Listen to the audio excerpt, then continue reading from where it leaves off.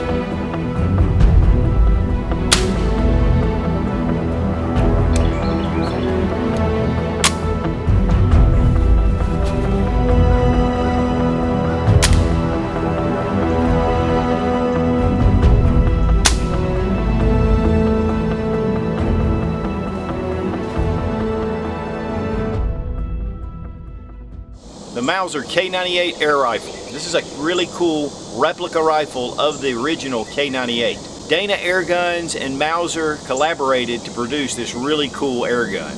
Guys, having an air gun around the house is useful. I mean, there are so many times where, in fact, I use the air gun more for general purpose than any other firearm that I have.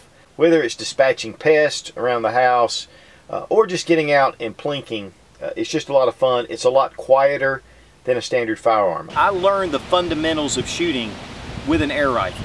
Uh, the place that we lived years ago, I couldn't just go out and shoot like I do today. And so it was nice to be able to go out in the backyard, set up a target, get those fundamentals down.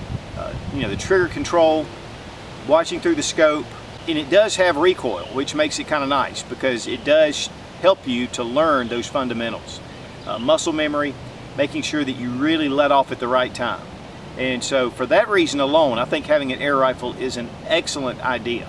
Pyramyd Air got in touch with me and said, hey, we'd like for maybe to do a review of an air gun. And one of the choices or suggestions they had was this rifle.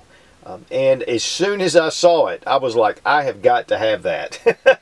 I mean, a K98 Mauser that's an air gun is just really cool. And these things, the wood on this is just exceptional. Um, but it really has the look of the K98. Of course, it's missing the bolt, which really would have been cool if they could have incorporated that um, into this design, even if it was just a fake knob coming off. But still, even then, I mean, this rifle has really clean looks of the old Mauser rifle. So I've been pretty excited about this review, if you can't tell. It's just a, uh, a very well-made piece.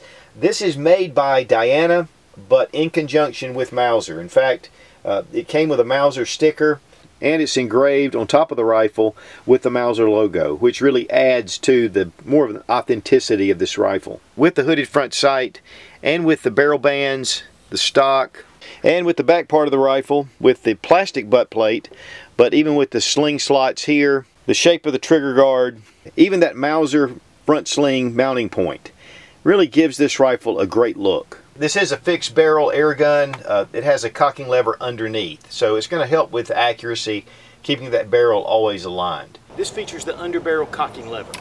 So you bring it down and cock it.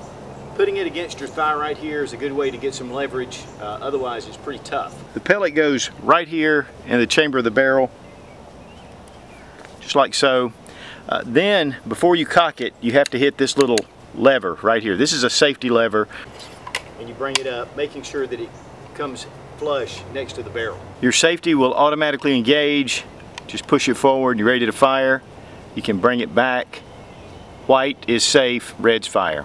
The rear sight is fully adjustable. It's one of the micrometer sights and you can adjust it for elevation or for windage, uh, but it still has that same look of the Mauser action. It does have an incorporated dovetail rail This 11 millimeter. Uh, you can put your rimfire or uh, obviously your air gun rings on here and scope, which we've got one to put on here. But before I did, I wanted to show it as it comes in the box. Another major departure from the old K98 is that this trigger is fully adjustable. Uh, there are holes in the bottom here of the trigger guard and you can place a screwdriver in and there are three different adjustment points in here. Uh, so you can really tune this trigger to what you like. It's a two-stage trigger and uh, it's really sweet. Now I'm going to demonstrate the two-stage trigger. Uh, we are at the range, so I am going to be firing the rifle. So you have some take up, and it's really smooth. Once you hit the wall, it is a very quick shot. In fact, you've got to be careful. Uh, one of the things when I was shooting my targets, um, I'd bring it into the two stage and inadvertently hit that. And that's one of the reasons why I had flyers typically on those first few shots uh, because I wasn't quite ready until I got used to the trigger. But it is a super smooth and light, very nice trigger. Okay, we're getting a two pound trigger uh, and that is at the lowest setting. They go ahead and set it at the factory. You can up that, which I'm gonna do. It's just a little bit too quick for me, but uh, if you really wanna get good accuracy and bring it in, you know, you've got a lot of variation. It's 44 inches in overall length and it's 9.5 pounds. So this thing is pretty much like the old Mauser. Uh, the stock is hardwood and I love how they've refinished it uh, it gives it that really cool look of the vintage rifle. Now there's a number of different loads that we're going to use and these are all obviously 22 caliber. It does come in uh, 177 caliber as well. It starts out at 14.66 grain, uh, 16 grain. This is 18.13 grain and then we have 18.52 grain. This is even a, an expandable hunting caliber and so it has the cuts in the top. And as shown on the package, it will mushroom out. This is definitely a squirrel killer.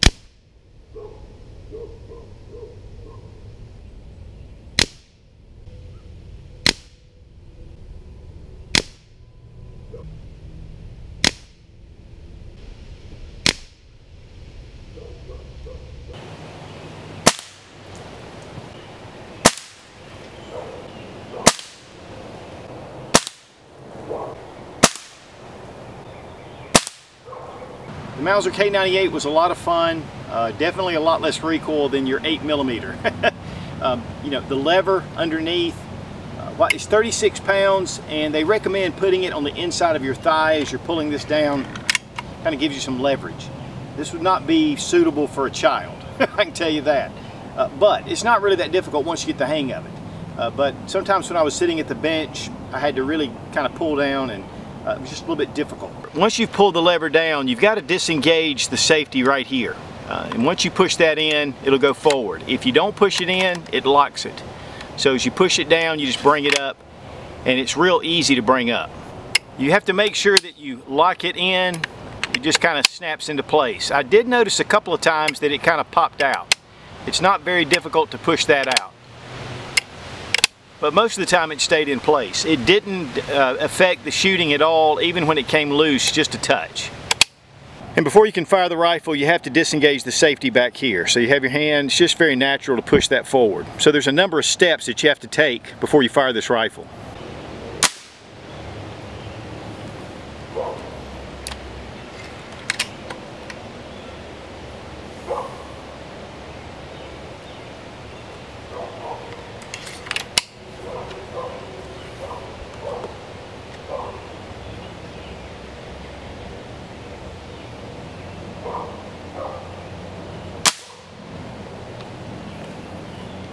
The Mantis 3x9, it's a good scope.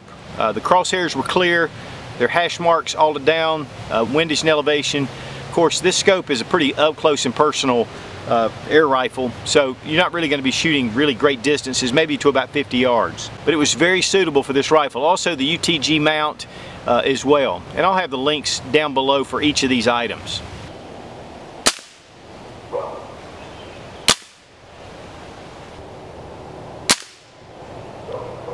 Now shooting the different type pellets, even though they were different grain weights, uh, didn't shift the point of impact. I mean, it pretty much stayed on. The accuracy for both the 18 and the 16 grain bullets seemed to be pretty close. A few pros and cons of the rifle. Uh, it is a K98 Mauser, and that in itself is a huge pro. I mean, the, it's just a great looking, very well made gun. And of course, Diana is known for its really excellent air rifles.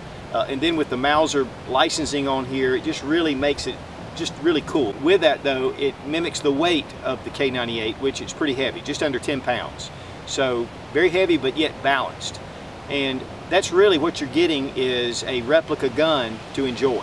Uh, so the weight's really not that bad. The iron sights are good, uh, very fully adjustable, and so that makes it nice. Fitting the scope on here was no problem whatsoever, and the scope was really good, the little Mantis scope. Did very well.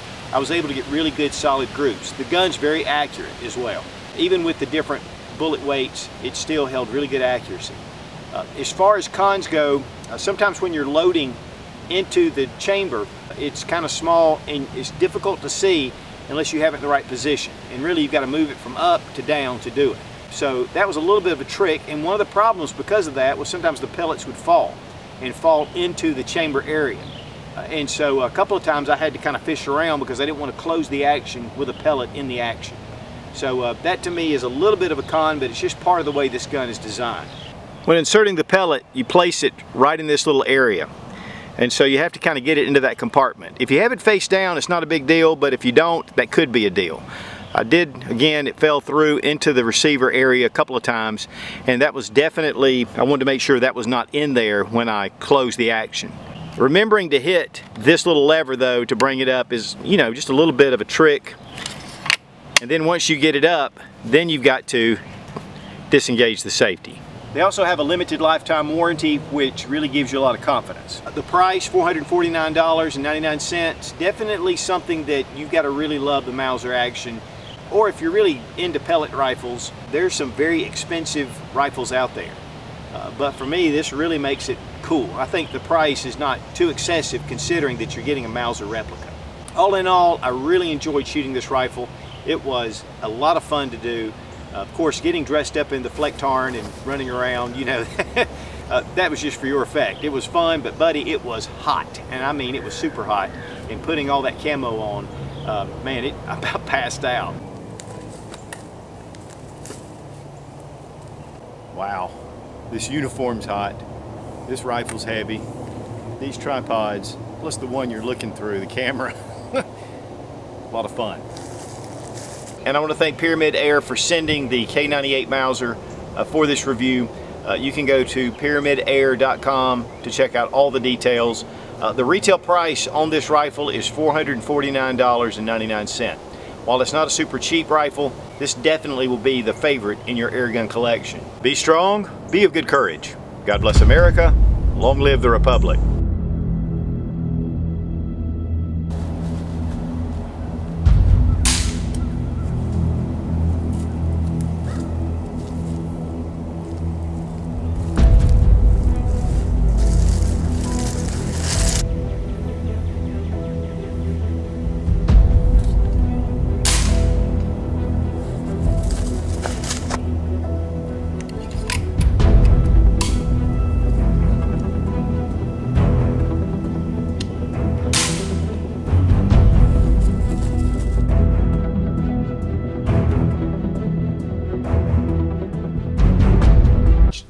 Happens to be a lot of those occasions.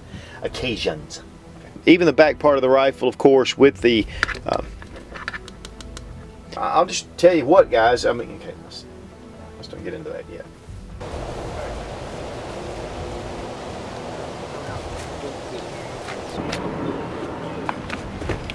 Oh, shit. Yeah.